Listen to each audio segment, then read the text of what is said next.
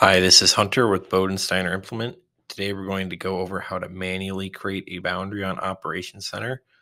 So start by going to Setup and then Land.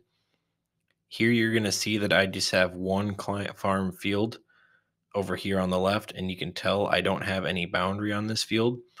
So let's say I just want to create a boundary so that way I can have field detection or keep track of my data easier on Operations Center and get some other simple features. So what I want to do is I want to hit add and then you'll see I get the choice for boundary. We're going to do the draw new, but if you want to make a boundary from previous operation, you can watch our other video on how to do that.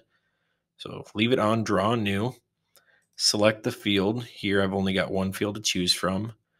Then when I hit next, I'm now in the boundary creation page. You can see here I have some different shapes we're just going to stick with the rectangle and I can just quickly make a rectangle around the field. You can't use these type of boundaries for any automation or section control features, so the general shape will sure work. You can tell I'm working on the exterior because it's the pink. If I'd want to, I could, you know, trace some waterways or various different features in the field and you can see on that second shape, I can move it to interior. That's not really necessary if all you're looking to do is just organize your data a little bit on Operation Center. But once I've got that done, I just need to type in a name for the boundary and then hit save.